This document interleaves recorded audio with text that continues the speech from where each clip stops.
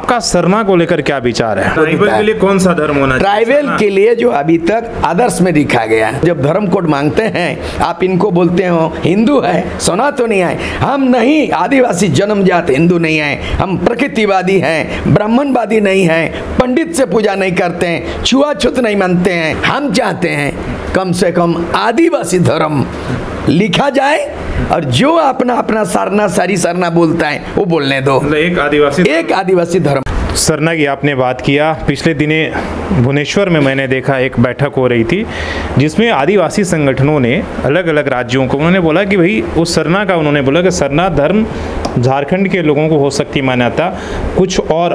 तो आपका सरना को लेकर क्या विचार है?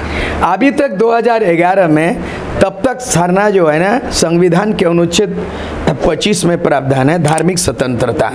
जब से भारत का संविधान को एडोप्ट किया लाइए एडोप्ट किया था 25 नवंबर 1949 को अंगीकृत किया गया था संविधान सभा ने।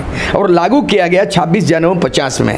तो 26 जनवरी दो, दो 1950 में जब भारत का संविधान लागू हो गया उसी समय छह धर्म कोड दिया गया है। वो भी संविधान का प्रारूप क्या है?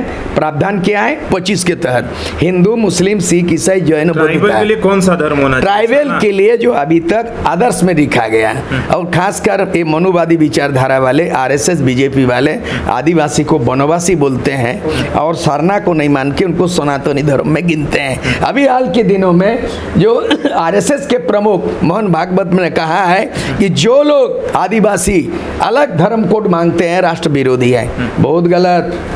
आप राष्ट्रवाद की बात करते हो, हिंदू राष्ट्र की परिकल्पना करते हो, भारतीय जनता पार्टी राष्ट्रवाद का वकालत करते हो, मोहन भागवत राष्ट्रवाद का वकालत करते हो, और आदिवासी को वनवासी बोलते हो, और आप बोलते हो जब धर्म कोड मांगते हैं, आप इनको बोलते हो, हिंदू है, सोना तो नहीं आए। हम नहीं, आदिवासी जन्मजात हिंदू नहीं है, हम प्रकृतिवादी हैं, ब्राह्मणवादी नहीं हैं, पंडित से पूजा नहीं करते हैं, छुआछूत नहीं मानते हैं, महिला स्त्री, हम समता है प्रकृति के गोद में पला हुआ आदिवासी। हमारा जो आदिवासियत है उसका धर्म कोड दे दो। मैं जो सारना और नॉन सारना में जो बोल रहा है 2011 में सेंसस में 50 लाख सारना धर्म कोड लिखा है।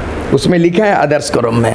अगर धर्म के मामले में देखा जाए आदिवासी तो करोड़ों है पंद्रह से बीस करोड़ है लेकिन पचास लाख झारखंड उड़ीसा मिला के पचास लाख दर्ज हुआ है। हमारा कहना है कि बंगाल में सारी धर्म है।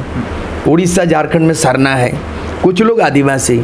हमें आपत्ति नहीं होगा। जो अपना मान्यता है, अपना करो। जैसे सिया सुन्नी, उदाहरण दे रहा हूँ। सिया सुन्नी कभी नहीं पटेगा। लेकिन भारत देश के अंदर में मुस्लिम को एक धर्म कोड मिला है, वो है इस्लाम धर्म कोड। हिंदू में कई पंथ है, कई रास्ते हैं। हिंदू में भी है। क्रिश्चियन में चार से पाँच है। कैथोलिक है, प्रोटेस्टेंट है, रोमन है, लेकिन धर्म कोड ईसाई को एक मिला। हम अपील करना चाहता हूँ, आपके सोशल मीडिया बहुत अच्छा सवाल आपने पूछा है, ये आपस में लड़ाई के बजाय हम सरना हम सरना बोलें, लिखें, सारी धर्म बंगाल में बोले, कोई आदिवासी, लेकिन हम तो आदिवासी हैं। आदिवासी को भी भारत का संविधान में आदिवासी नाम नहीं है। क्या है? अनुसूचित जनजाति। इंग्लिश में शेड्यूल ट्राइब, एसटी। हम चाहते हैं कम से कम आदिवासी धर्म लिखा जाए और जो अपना अपना सरना सारी सरना बोलता है वो बोलने दो। मतलब एक आदिवासी एक आदिवासी धर्म कोड बस। के अंदर सब बस वो एक छत्र के अंदर में। हम सरना लिखे सरना बोले लेकिन एक धर्म जैसे सिया सुन्नी इस्लाम धर्म क्रिश्चियन पाँच तो ग्रुप एक तो ईसाई धर्म। मतलब आप इस विवाद विवाद में नहीं पढ़ना चाहते कि सरना नॉन सरना मैंने हाँ। मैं विवाद का निपटारा करना चाहता हूँ। सार, सारी धर्म बंगाल सरना धर्म उड़ीसा झारखंड।